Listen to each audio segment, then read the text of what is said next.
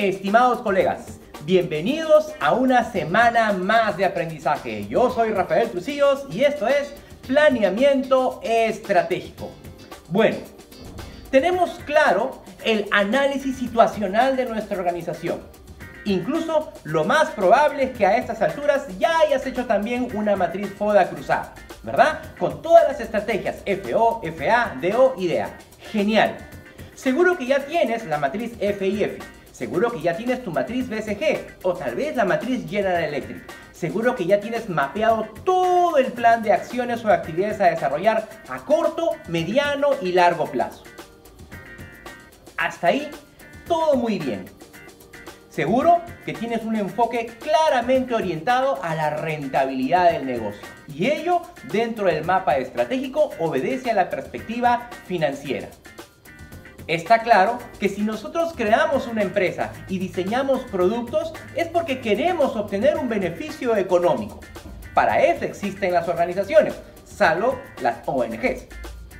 Y si bien nosotros mantenemos ese enfoque específicamente en la perspectiva financiera, no debemos de dejar de tomar en cuenta a la perspectiva de los clientes no debemos de dejar de tomar en cuenta a la perspectiva interna, donde existe la automatización de procesos, claro enfoque de la administración de operaciones. Y por último, no debemos de dejar de contemplar a la perspectiva de crecimiento. Es así que me gustaría que conozcas algunas estadísticas muy importantes. ¿Sabías que menos del 5% del personal entiende realmente la estrategia empresarial? Menos del 25% de gerentes tiene conectada su gestión con el logro de objetivos estratégicos. Más del 60% de las empresas no relacionan su presupuesto con sus estrategias. Más del 90% de las compañías no saben aterrizar su estrategia a los niveles operativos para vincular el desempeño con los objetivos estratégicos. Cerca del 80% de las compañías no conectan adecuadamente la estrategia con los indicadores para evaluar los resultados. Y finalmente, menos del 10% de los empresarios miran indicadores distintos a los resultados financieros. Entonces, ¿qué es lo que necesitamos?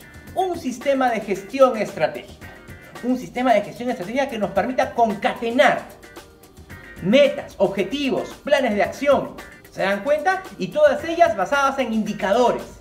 ¿Para qué? Para posibilitar el logro de los resultados a corto, mediano y largo plazo.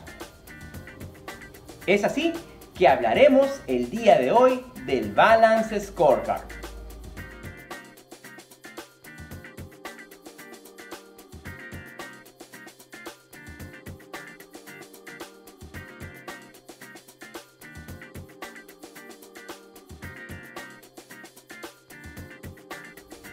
Hablemos entonces de los cinco principios básicos del Balance Scorecard.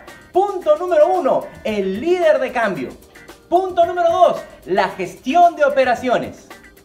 Punto número tres, el diseño organizacional y la gestión de cambio. Punto número cuatro, acción y decisiones. Y punto número 5, el proceso de mejora continua. Sí, el de Edwards Deming.